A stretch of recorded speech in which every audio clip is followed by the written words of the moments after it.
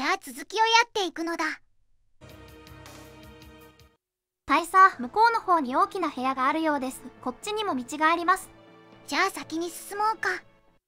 鋭い叫び声とともに研ぎ澄まされた爪がガイルを襲う。ベガだ!やっとここまで来たね。ベガ戦だよ。日本ではバルログだからこんがらがっちゃうわねこのゲームではベガだからそれに合わせて話していくよ。ベガの髪色って黒じゃないわよね。茶色や金色だと思うのだけど。この写真の右の人だね。ガイルも金髪じゃないしそこまで気にしなかったんじゃないかな。ちなみにネイティブアメリカンの俳優さんだよ。スペインの方じゃないのね。エドモンド・ホンダも日本人じゃなくアメリカの俳優さんが演じてたしねハリウッド映画で英語が流暢に話せる役者となるとアメリカ人で固めた方がやりやすかったんでしょうね。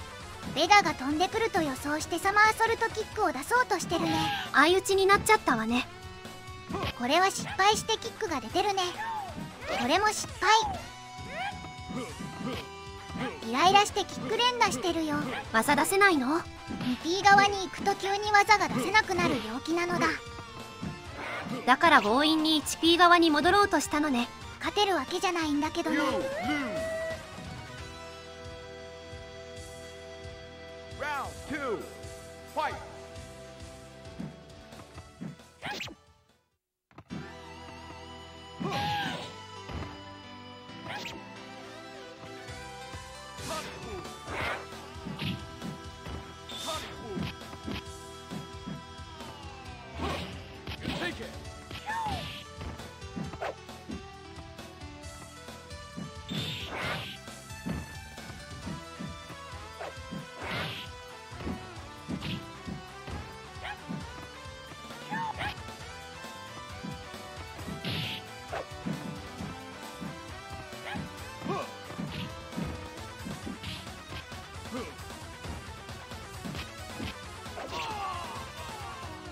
一本も取れずに負けちゃったわね。さすが四天王だね。4回目でベガ撃破。ここからは地獄の道っぽそう。大佐急ぎましょう。奥に大きな部屋があります。そこはバイソンのプライベートルームのようだった。サガットがいて笑ってみせた。ここまでたどり着くとはな。金を盗んで逃げる前に一つ楽しませてもらうか。ここで残り14分を溶かしてタイムオーバーになってしまったのだ。時間切れだとバッドエンドになるのよね。こうなるとコンティニューもできないからね。じゃあバッドエンドを見ていこう。大佐もう時間でありません。残念ですが人質の命には変えられません。ガイルたちはよく戦ったが時が味方してはくれなかった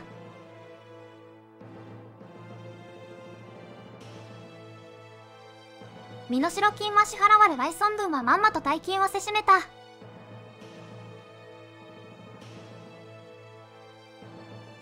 人質の命は助かったがガイルは司令官の任を解かれた。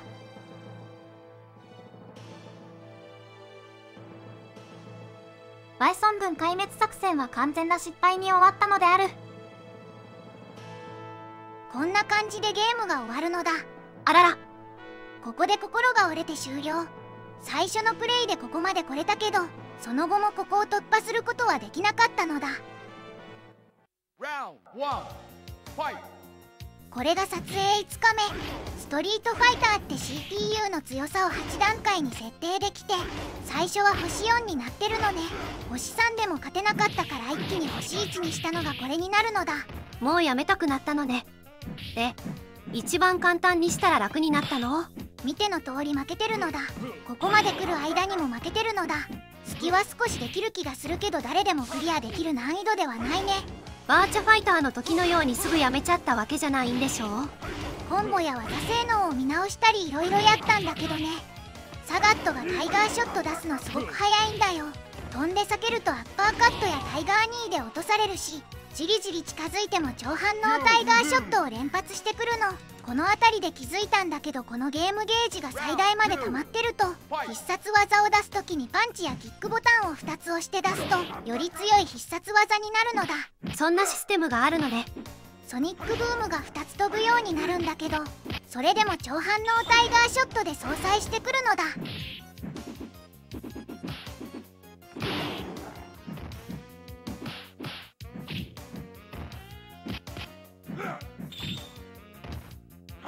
Jeez.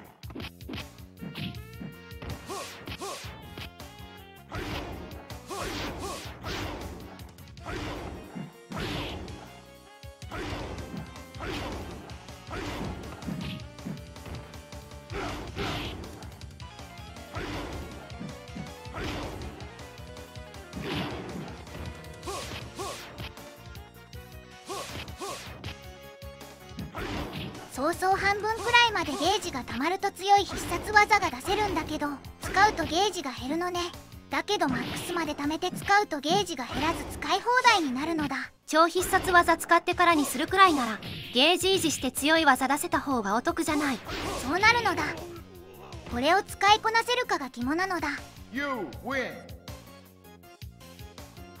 Round three. Fight.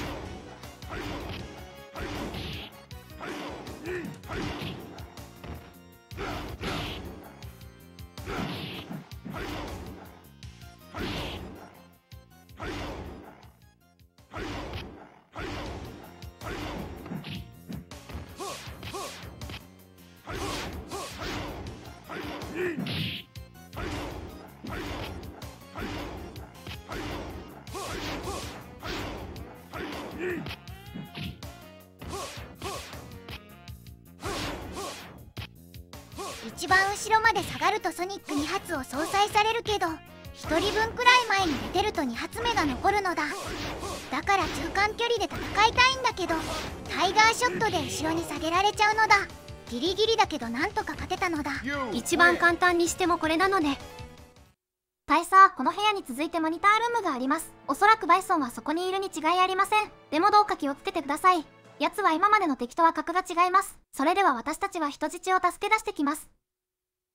モニタールームに駆け込んだガエルたちを待っていたのはなおも勝者のように悠然と佇むバイソンの姿であった遅かったなガエルこの俺が力ずくでねじ伏せてやる。出ないと貴様も報われまい。さあ後悔はさせんぞ。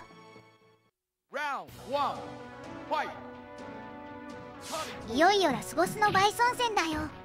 ここまで来れたら制限時間がなくなってコンティニューし放題なのだ。体力ゲージの上にあった制限時間が消えてるわね。まずはバイソン戦まで持ってくる。これが鍵みたいだね。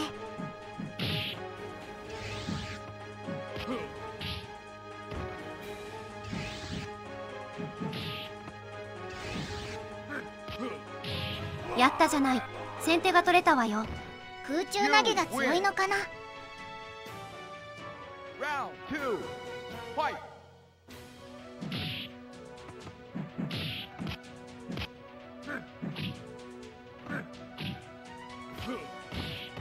味を占めたから投げまくってやれって思ってるのだ。空中強パンチの判定が強いってあったから多用してるのだ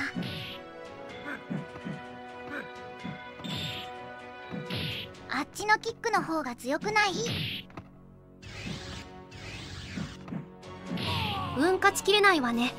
さすがラスボスだね.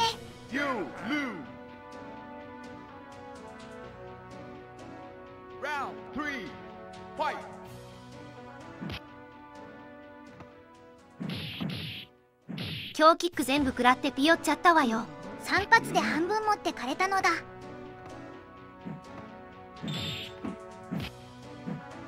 あーこれはダメっぽいね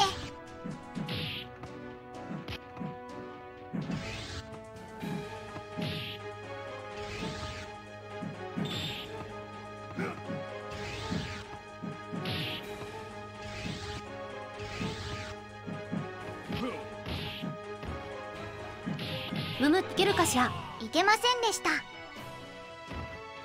You lose. 大丈夫ですか？しっかりしてください大佐。諦めないで.わあ勝った勝った勝った。これにてストリートファイター感。お疲れ様.でした。長かった戦いよさらば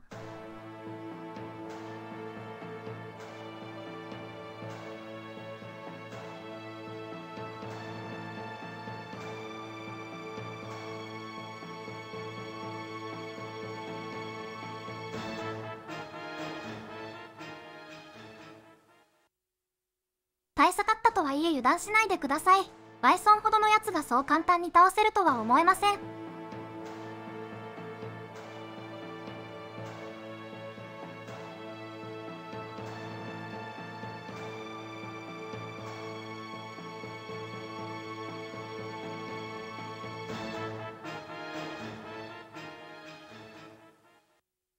Round one. Fight. なんか復活してきたのだ。もうやらなくていいって喜んでたから格闘ゲームでそりゃないよって思ったのだ。一番簡単とワイエクロをしたものね。当然のように負けるのだ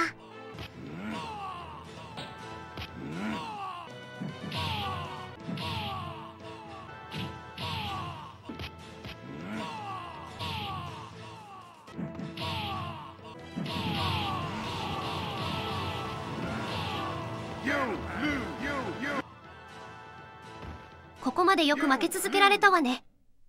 この負けの上に積み上げられた攻略法を今お見せするのだ。やっぱりバイソンはジャンプ投げに弱いのだ。当然相手は圧倒的強者。これだけでは勝てないのだ。そこで編み出されたのがジャンプ宇宙キックを出しながら後ろに逃げる。なのだ。これによりバイソンは高いジャンプ攻撃で接触してきた時空中投げをすることができるのだ。本当だわ。投げが見事に決まったわね。どれだけ地味だとしてもこうするしかないのだ。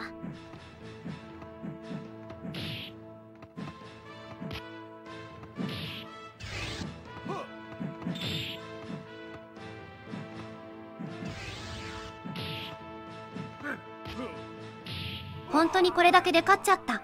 君が倒れるまで僕はこれをやり続けるのだ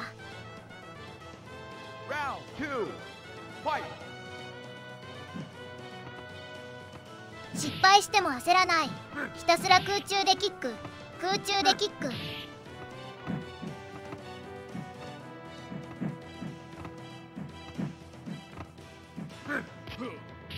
体が入れ替わったのだ。でも焦らない。ダメージを食らっても焦らない。感情を無にしてジャンプしてキック。ジャンプしてキック。失敗しても焦らない。ジャンプしてキック。ジャンプしてキック。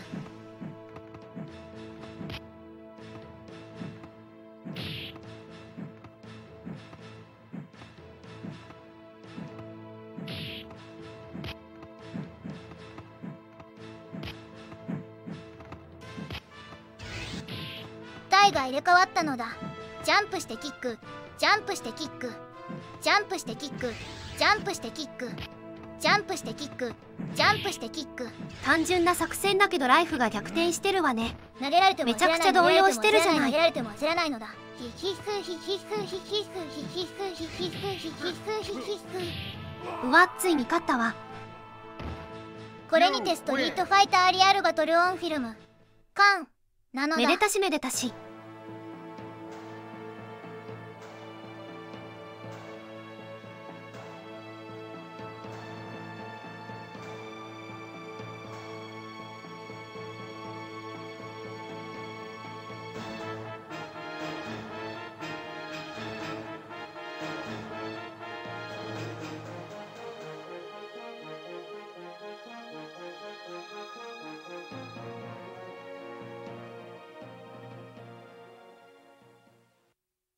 おめでとうございます大佐。作戦は大成功ですね。大佐についてきて本当に良かった。また何かあった時はご一緒しましょう。実はこのキャミー役の人とガイル役の人不倫してるのだ。え？ストリートファイターはタイでロケをしてたんだけどガイル役の人は4度目の結婚をした頃だったんだよ。キャミー役の人にメロメロになっちゃったんだって。その話を聞くと最後のやりとりが意味深に聞こえるわね。これでゲームは終わりなのだ気になる人はぜひ遊んでみてほしいのだ。前後編にわたり見てくださりありがとうございました。次の動画でまたお会いしましょう。それでは皆さんごきげんよう。う